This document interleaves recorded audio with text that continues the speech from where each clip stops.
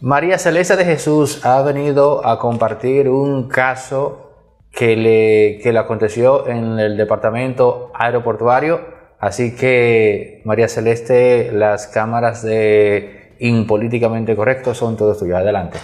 Bien, mi nombre es María Celeste. Eh, trabajé por más de 20 años en el departamento aeroportuario, en el área de financiera. En el día 7 de agosto acontece que recibo la 7 de agosto del año pasado. sí, del 2023. Acontece que recibo una llamada de un supuesto, de supuestamente del director ejecutivo de allá, donde me pide que le, eh, le diga cuáles son los cheques que yo tengo en custodia. Yo accedo, ¿por qué? Porque entiendo que es el director que me está hablando. Pues bien, eh, el segundo día, que es martes, vuelvo y recibo otra llamada del director con lo mismo. el tercer día se presenta un supuesto mensajero eh, por nombre Mercedes. Mercedes me, dice yo. Exactamente. A, buscar dos cheques eh, de un contratado, el cual eh, lleva las documentaciones requeridas, el cual yo accedo a, a pagárselo.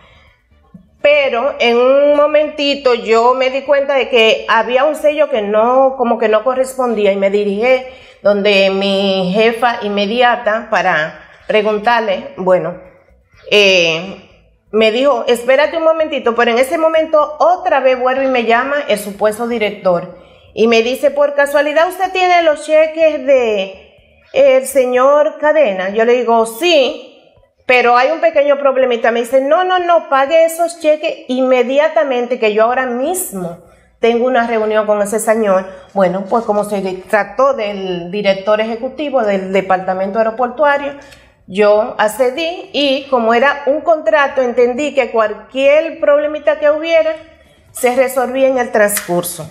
La cuestión es que después de varios días nos dimos cuenta que se trató de una estafa. Me llamaron al despacho del director para cuestionarme.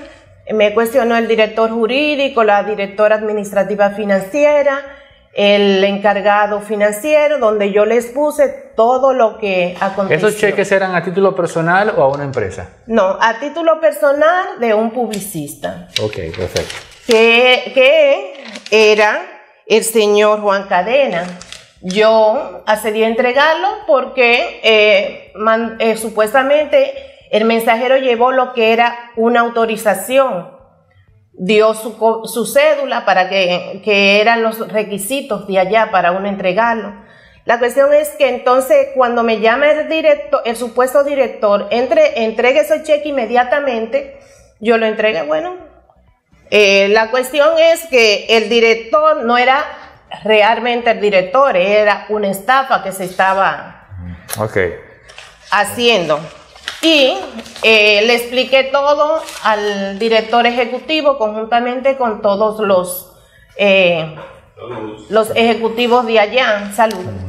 Y eh, cuando, cuando le explico todo el acontecer, el director se limita a decir esto, no hay duda, eso fue una estafa. Eh, esos cheques tienen que estar, haber sido canjeados por un canjeador del cheque. digo, bueno, eh, y yo nunca llamo. Yo digo, pero ¿cómo saberlo? Si yo nunca hablo con usted prácticamente, no, no puedo conocerle la voz. Bueno, la cuestión es que le dio para que reuniera todos los datos al encargado financiero, investigue. Él investiga, eh, busca los audios, busca las grabaciones y se da cuenta realmente que fue. Entonces cuando coge la copia de la cédula, chequea en la base de datos de seguridad y ve que eh, busca el mensajero y dice que el mensajero está limpio. Digo, bueno, está limpio, pero hay que investigarlo. La cuestión es que ellos dijeron que ellos no querían bulla. Y no querían bulla, que eso lo iban a dejar así. Y digo, bueno. ¿De qué montaron los cheques? Eh, ascendía prácticamente a 130, casi 140 mil pesos no gran cosa, pero como dicen, eh, yo en ese momento cuando buscan al mensajero, el mensajero de que no, eh, no tiene ficha, lo dejaron ir. Bueno, yo dije, bueno, cuando se acercan a mí, eh, me mandan a decir con, mi, con la encargada de, de, tesorería, el director jurídico, a mí que pagara ese dinero, como yo tenía más de 20 años allá en la institución, a mí que pagar ese dinero para no cancelarme.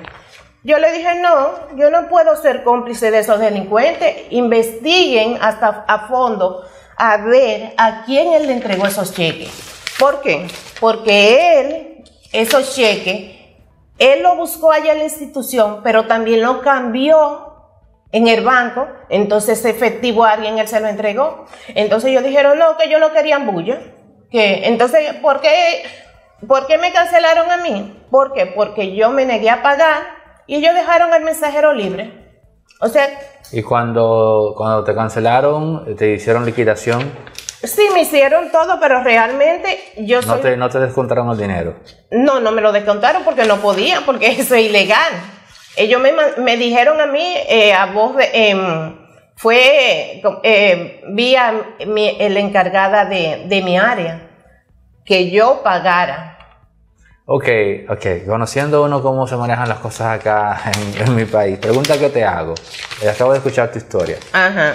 ¿Tú tuviste algún altercado en el departamento aeroportario previo a? Nunca en mi vida. Porque tu historia me, me huele al típico trompo que pueden armar para justificar salir de un empleado en las instancias públicas. Sí, pero realmente yo entiendo que si quieren desvincular a una persona, eh, de a nivel administrativo podrían hacerlo, porque es que ellos tienen su libre albedrío para actuar así. Ahora bien, por el hecho que, se me, que me fue desvinculado a mí, eh, no es, no es eh, como dicen, no, no es justo. ¿Por qué? Porque eso, ellos jugaron incluso con la dignidad mía. Y, se olvidaron del récord, del, récord intachable que yo tenía dentro de la institución. Entonces, a eso es que yo me apego.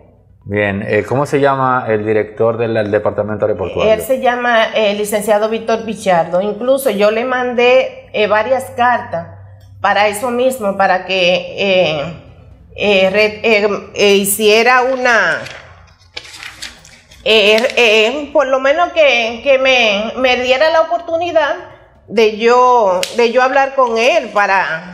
Pero tú le conoces la voz a él, ¿se la conociste? a, la voz de él, la de él. Parecida, porque que usted sabe que yo imitan y... O sea, la voz del que te llamó era parecida a la de Parecida a la, de, a la del licenciado Víctor Pichardo, pero que yo realmente nunca hablé por teléfono con él. Sí, previo a anteriormente. No, no, anteriormente. ¿Y el teléfono desde, el que te llamaron no está registrado? Este está registrado, ellos lo buscaron y parece que eh, cuando lo buscaron, parece que era algún, algún teléfono de esos eh, teléfonos que se compran. No dieron. Ok, ok. Bueno, eh, de todas formas, dado el monto, apenas 140 mil pesos, créeme que en los estamentos del Estado o sea, de verdad, eso me huele más a, una cortina de humo para desvincularte y que esos 140 mil pesos eran un pretexto, así de siempre.